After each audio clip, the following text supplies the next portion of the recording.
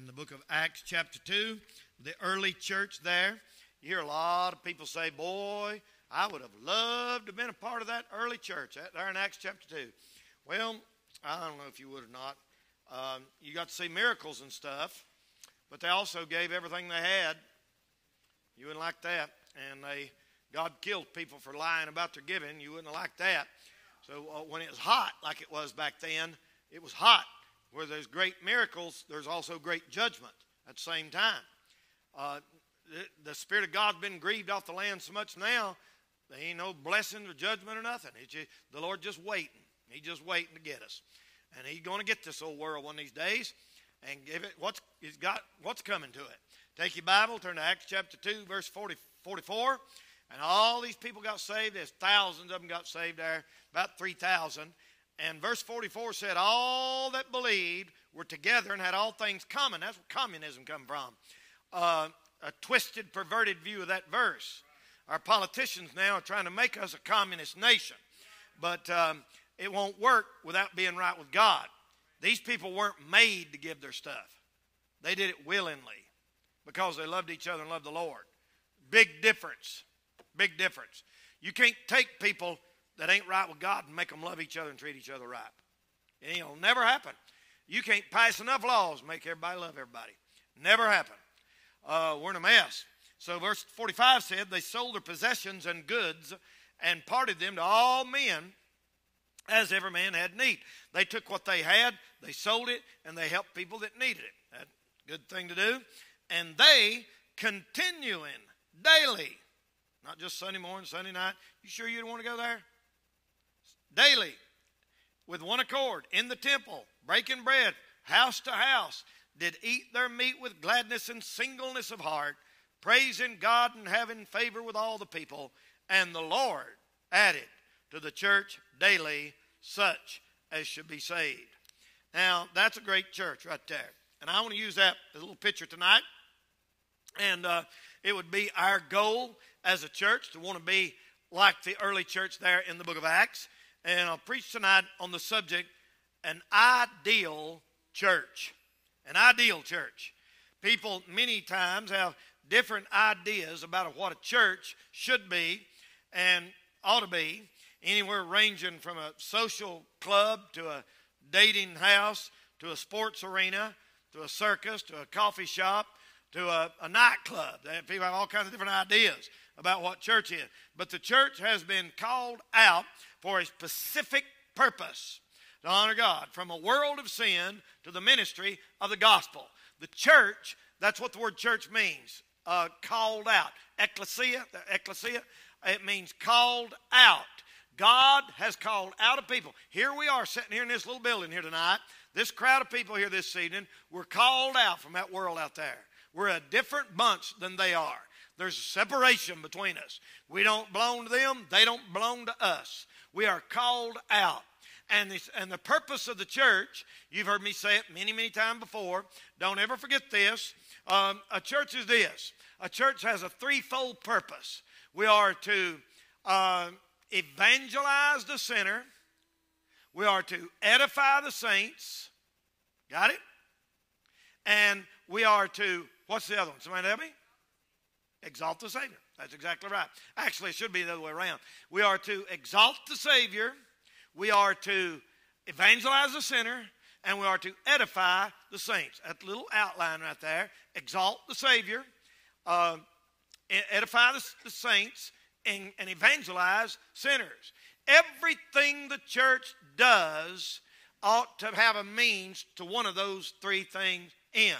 In other words, everything we support, everything we do, everything we're a part of, every activity we have, I don't care if it's a youth activity or senior citizen, everything we church is involved in ought to have the main end of evangelizing sinners, exalting the Savior, and edifying saints. And it's easy to get off track there if you're not careful because a lot of people just make it all fun and games and, and a lot of people just make it all food and all fellowship. But everything we do, and those things are good, all them things are good, but they should have a means to it, have an end to it. If you have a youth meeting, have preaching, have some, have some Bible study, have the Word of God in. If the seniors take a trip, uh, give them all a handful of tracts, say, give them out. Like we did at the couples trip over in Gatlinburg and preached. A church should do those three things exalt the Savior, evangelize the sinner, and edify the saints. Now, if we're going to have an ideal uh, church this evening, really, really quick here tonight, I just want to give you three quick things. Not going to freeze outside, uh, uh, and and we'll go. Number one, number one, the ideal church is a loving church, right? The ideal church is a loving church. Oh, preacher, what are you talking about? Well, we ought to have a love for the Bible. You ought to have a love for the Bible. An ideal church has a love for the Bible. Now, I'm going to tell you something here this evening. You've heard me say it over and over and over and over and over and over and over and over, and you'll hear me say it again. as long as I can, as long as I can breathe and got breath to preach. This book right here and the preaching of this book is center place in Shining Light Baptist Church. The main thing that takes place on this property is the preaching of the Word of God. Everything else is, is, is secondary. I know churches that are literally built on singing. I'm not against singing. When you say that, people say, I'm not against. I know churches for years they had them fourth Saturday night singings. Nothing wrong with that.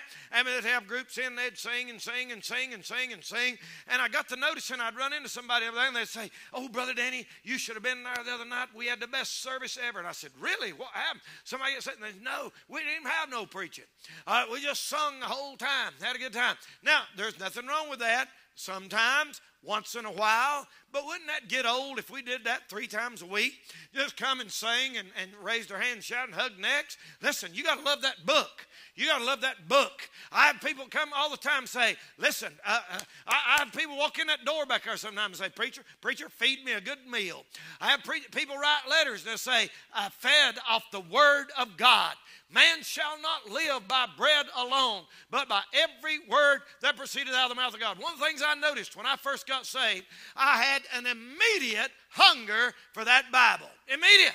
Nobody had to tell me I, I couldn't have. Like a baby wants milk, automatically a newborn Christian wants to know what God said in that book. And brother, you get you a hunger for this book right here. Get off the devil's candy, turn the stupid TV shows off, uh, get off your phone long enough to get you an appetite for steak and potatoes from a King James Bible. Amen. I'm telling you, brother, we need a love for the Bible. We need a love for the Bible. We need a love for the Bible. Come down just here, y'all. And then we need a love for each other. We need a love for each other. Our ideal church, people loves each other. And I believe that, don't you? Uh, that's what he told that church there in, the, in Philadelphia, there in Revelation chapter 3, uh, the church brotherly love. That's what Philadelphia means. And uh, uh, uh church supposed to love each other. I have been to churches. I've been preaching revivals since I was 19 years old. And uh, I got an education.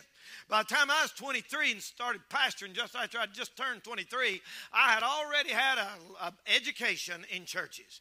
I've been all over them mountains up yonder in Bakersville and Burnsville and Spruce Pine and up north Tennessee and down in uh, upstate South Carolina and the little country churches all over there when I was 20 and 21.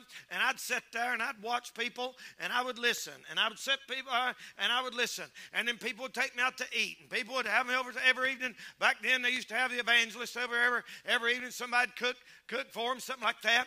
And I remember, I remember sitting there, and people would say, uh, they'd say, "Well, I don't know about old so and so," and all the family would join in on talking bad about sister so and so, and the kids sitting right there listening. And I remember I was 20, 21 years old, and I thought, "This ain't right."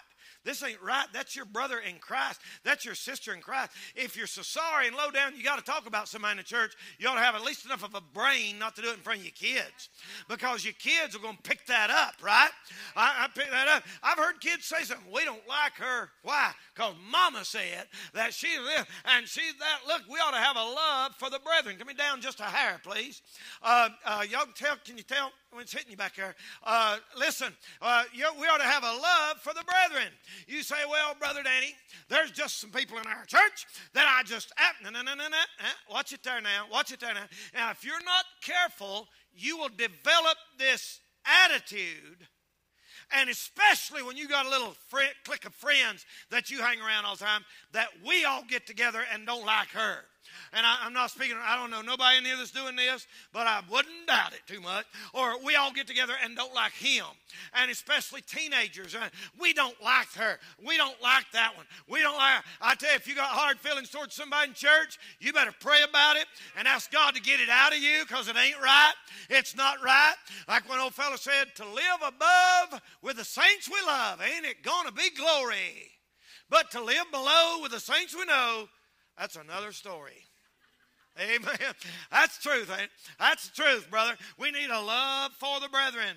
I've never seen a perfect church. You've never seen a perfect church. I'm telling you, gossip will kill a church. We're, we're, eh, every liquor store in Burke County is not going to hurt our church. Amen. I mean, they go up a pool hall out here at the end of the parking lot, and uh, it ain't going to hurt our church. Probably half members will be out there, uh, but uh, it's not going to hurt our church. If they opened up a beer joint out there at the end of uh, Tom Deal Avenue, it's not going to hurt our church. You know what hurts the church? People inside.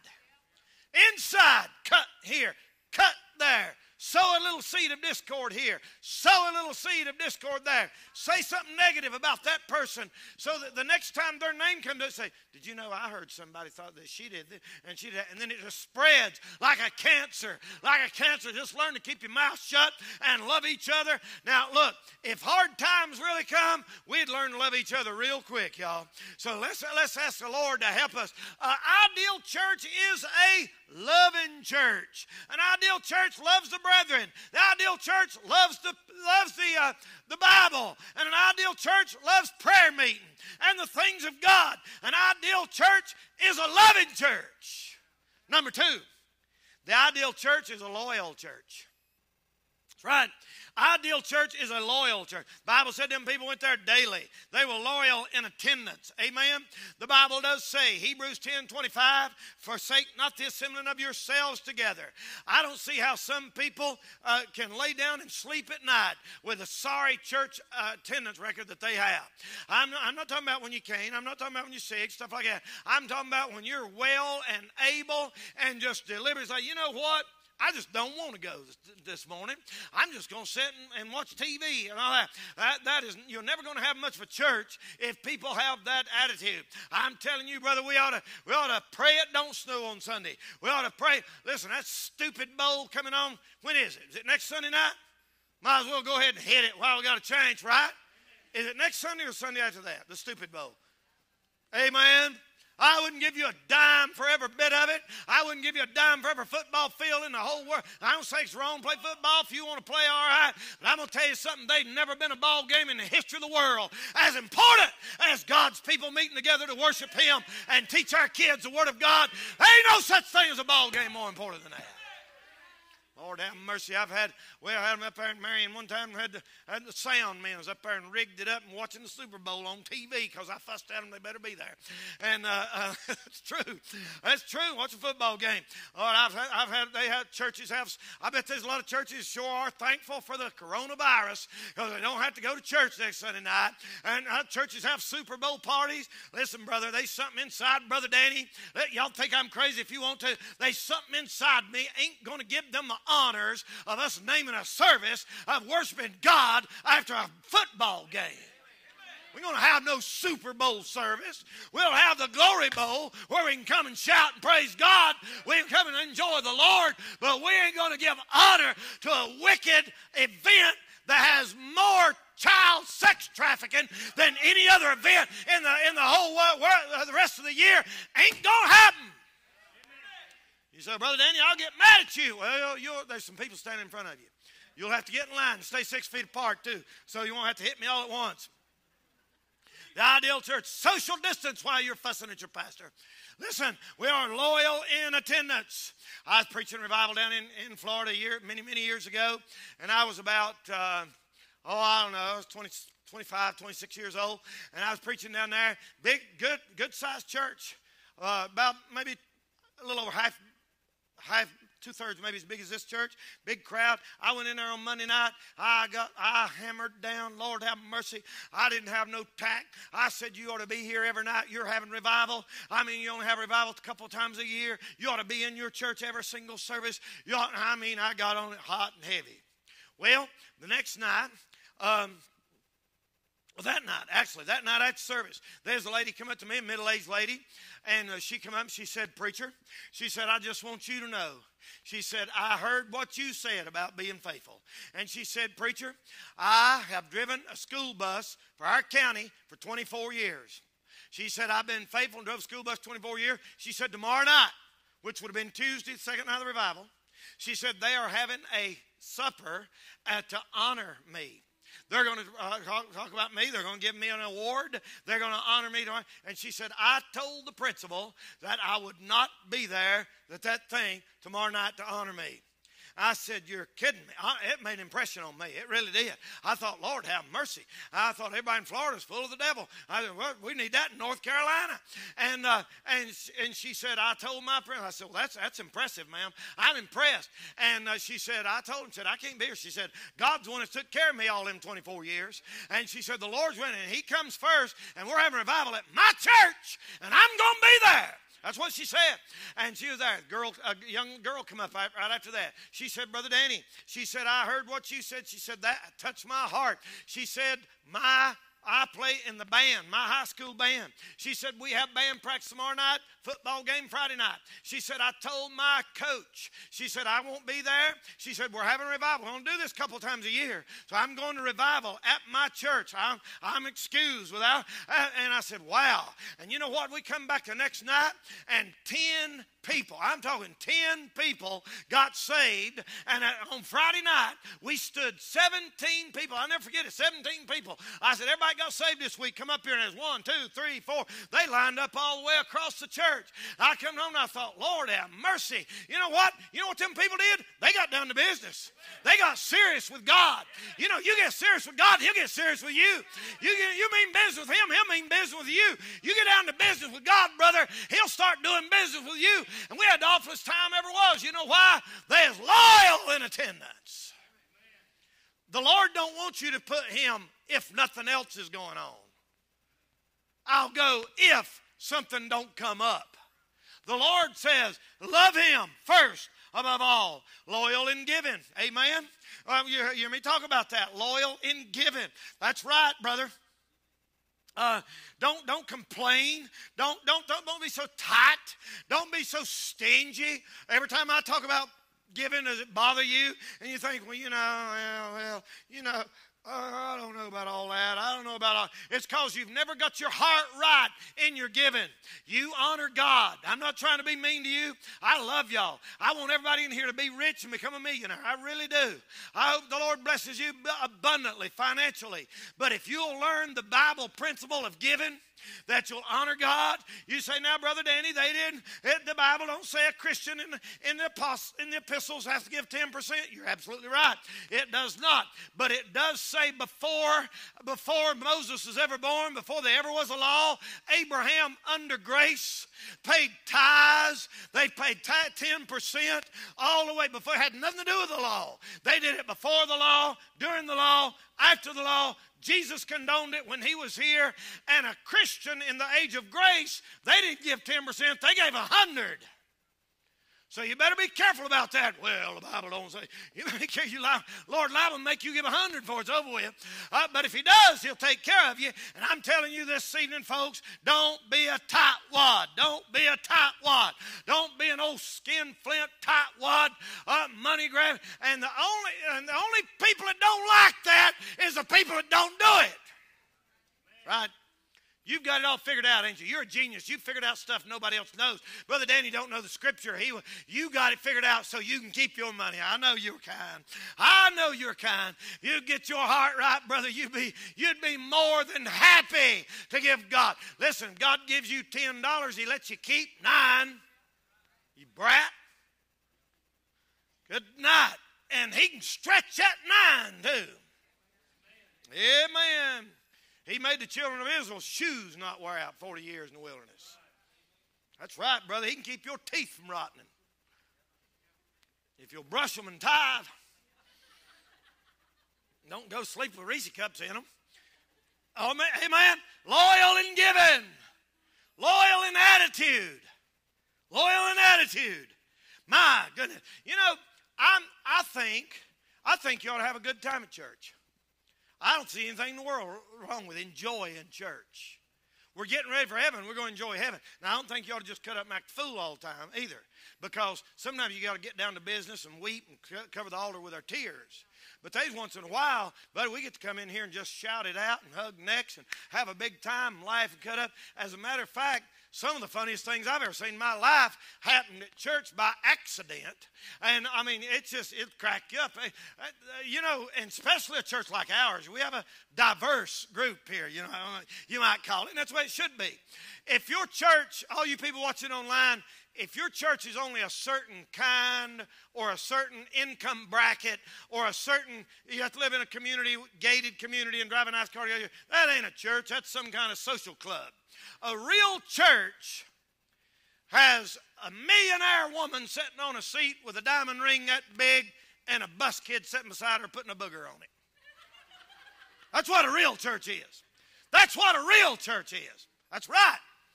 I'm talking about a real nice, I'm talking about a real nice dressed man with a suit on and a little bus kid come in and step on his shoe and put mud on it. That's what a real church is for all kinds, all colors, all all types. All I mean, brother, you throw your net out there, you just get whatever comes in. When you uh, you ain't just fishing for a certain kind of fish. I like I like the stuff I have in church, Lord. I like. And by the way, all you people that are watching online, I'm glad you are. But you know, your kids are missing. Your kids are missing Sunday school. They're missing their junior church, the lessons they learned. It's funny. All those kids get it's funny. They, one little kid, they, they learned stuff at church. They said, uh, one time, these two boys had been Sunday school and learning about the Lord, and he's in church, uh, sitting at home like this, and or they, the preacher, come over to visit, and he's sitting there talking to the mama, and the two little boys come in. They didn't see the preacher. They said, "Mama, we caught that rat." We caught him. And he said, I stomped him like that with my foot. And Johnny hit him with a baseball bat. And then we got him down and beat him like that. And he looked over and seen the preacher. And He said, And the Lord called him home. them little boys had learned, you know, you're not supposed to be mean to. You know, the Lord called that rat home, rat hell. Uh, uh, listen, uh, listen. You you learn something. I like that story. I heard one day said uh, this little kid come in, and they'd sent him to Sunday school, and he comes back back home. They said, Mama said, "Well, did you learn anything in Sunday school?" He said, "Yeah." She said, "Well, what? I didn't like it." And they said, "Well, what's wrong?" And he said, "Well, the preacher he told me that he was praying that I'd have I'd get to be in a good Christian home, and heck, I want to stay with you guys.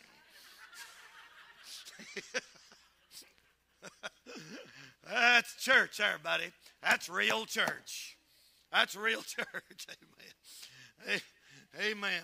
Carrie up there one time and, in Marion, wasn't one of your kids at class? Carrie said that they're having Christmas. And you know, after Christmas, you come back and said, uh, the, the, after Christmas, I come back. She said, now, now next Sunday or tomorrow school or something, we're going to have show and tell. We're going to have show and tell tomorrow. You know how kids right, bring what they got for Christmas, show and everything. Kid went by and, and went home. This honest truth. I'm not making this up. This happened. And she said, the mama said, well, son, what'd you do? He said, mama, guess what? Tomorrow we're going to show our tails. She said, what? She said, yeah. She said, what are you going to? She said, tomorrow we're going to show our tail. She said, Where did you hear that? Said, The teacher said it. Said, Everybody show their tail tomorrow. Didn't that happen? Honestly, that's not, somebody didn't make that up. That's funny, man. That's funny. I, am telling you, some kids, I like, I like what Marty used to say. Uh, uh, uh, oh, victory in Jesus. He punched me to victory beneath the cleansing flood. Amen. Have you ever been punched to victory? Yeah, I have. I've got out of line before and didn't listen. Lord, punch me to victory, buddy. He'll knock your brains out if you don't straighten up. I'm telling you, an ideal church ought to be loyal in attitude, loyal in giving, loyal in attendance. Third, lastly, and I'll say this an ideal church is a laboring church. Not only is it a loyal church, not only is it a loving church, it's a laboring church. What a work. I cannot work my soul to save, for that my Lord hath done but I can work like any slave for the love of God's own Son. I cannot work my soul to save, for that my Lord hath done. But I can work like any slave for the love of God's Son. My, my, my, we ought to work. And you will never get what you should get out of church unless you're busy working. Don't you ever feel like, well, I don't have no purpose here. I just come and see it. God has a job for every person in this room and a whole lot more. I mentioned some of them the other Sunday, and, and I thank the Lord for the response that I've heard the CD ministry, the, the visiting, uh, the, the, bus ministry, all the stuff that's going on here at our church, and the, and the, um, the answering the letters, and the, all kinds of stuff like that. Thank God for the good response that, that we heard after that. We ought to, we ought to uh, the, sending flowers to people that are sick, cooking meals, uh, going, uh, checking on people in the hospital hospital. Uh, I mean, just getting people to church, being busy for God, being busy for God, being busy for God, being busy for God, staying busy for the Lord. You know, I like that story. Said old Jack Hyles. For years, he started running buses. And when he first went to take the pastorate of First Baptist Church of Hammond, all it was was a bunch of real nice, well to do, rich people. And buddy, he went there and started preaching soul winning and knocking on doors. And they, they got they flipped their lid and had a big split, and most of them left, and everything you've heard him tell about, I take the bus kids and all that. And he said, one of his deacons come to him one time. He said, Pastor, we are upset about these buses. Buses, buses, buses, bringing in all these kids. They don't learn nothing. They don't listen. What good's all this doing? He said, Now, friend, he said, This is what God called us to do. He said, Well, D.L. Moody, D.L. Moody's in Chicago. You know, that's where Hammond is, right beside Chicago. And the great D.L. Moody pastored up there forever, the big, Moody church. He said D.L. Moody didn't have a bunch of buses running all over town like this. And Jack Hyles said, there were no buses when D.L. Moody was here in 18. Uh, he said, but D.L. Moody had wagons drawn by horses. Started Sunday schools and all over Chicago picked up little boys and girls in wagons with horses pulling them and brought them in and had Sunday school. And I, the deacon said, Well, these buses are leaking oil all over our parking lot. He said, Well, what do you reckon leaked on D.L. Moody's parking lot?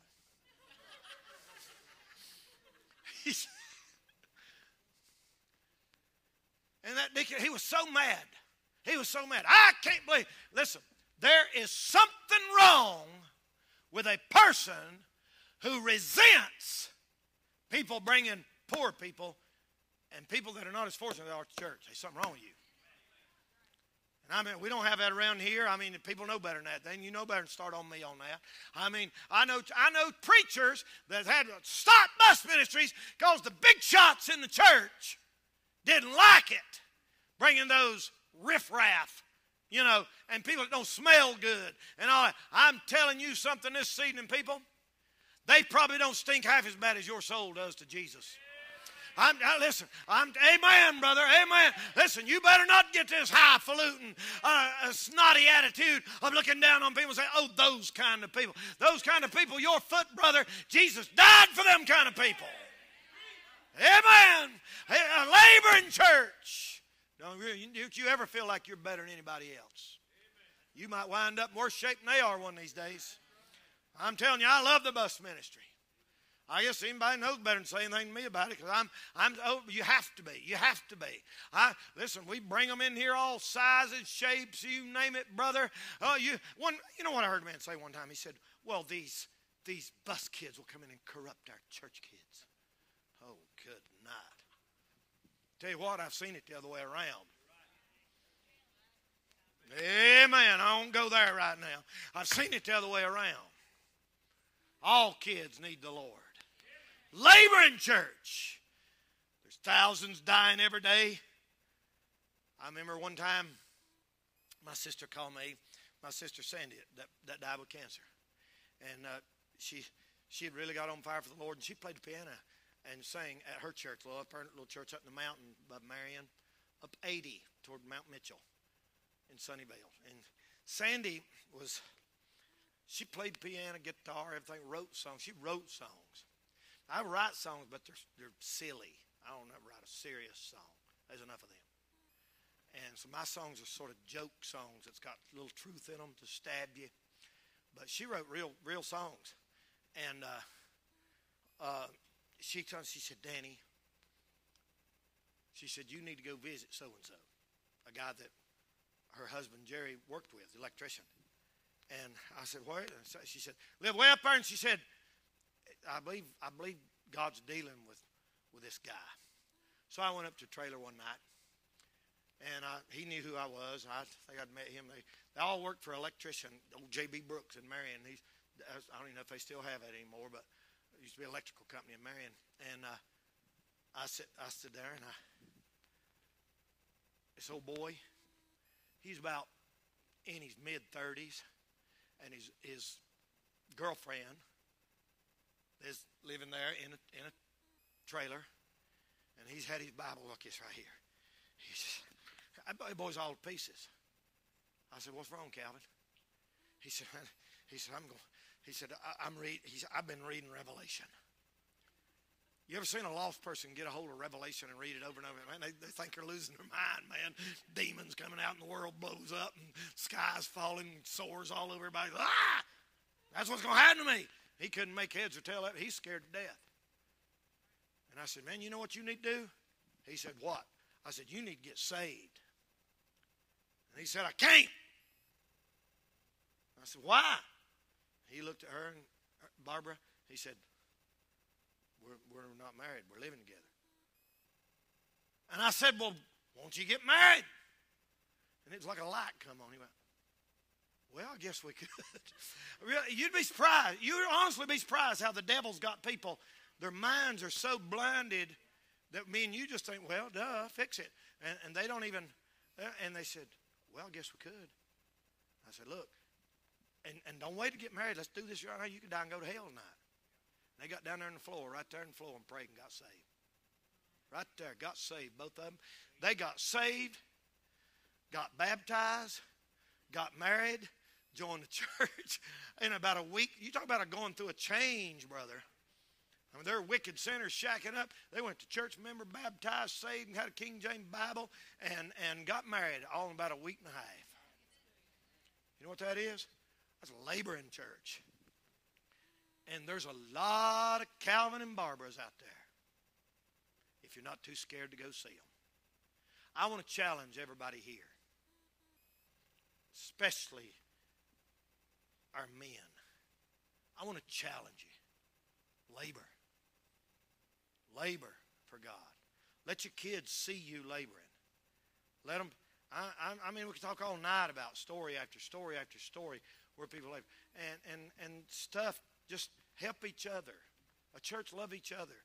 You know, I remember uh, we're spread out a lot here at our church, so we're it's a little bit different here. We've got people live in that direction over yonder and call several different counties. I got that, but I remember when church people, if someone in church needed a roof, a bunch of men get together and help them go put a roof on their house, or or fix a car, or that the ladies when a lady was sick, they'd bring food over to her house. People were close and they loved each other.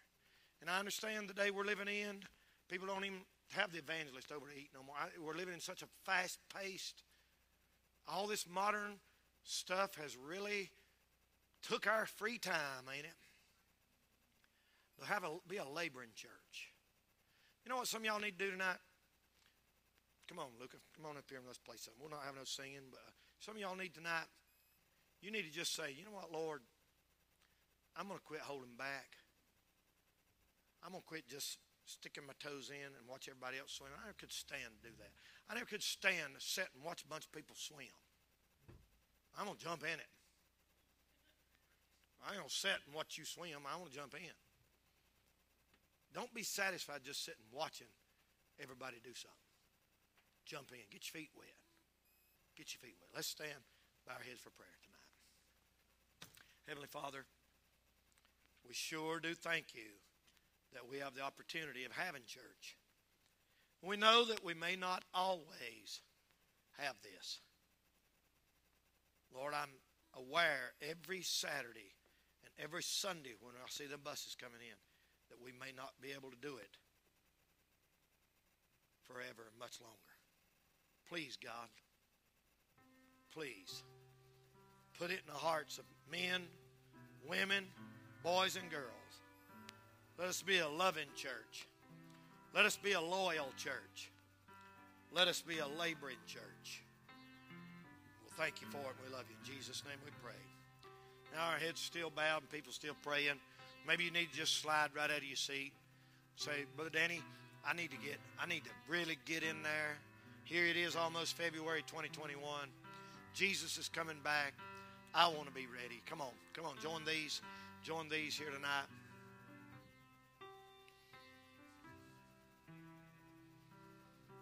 Join these here tonight. Come on. Amen.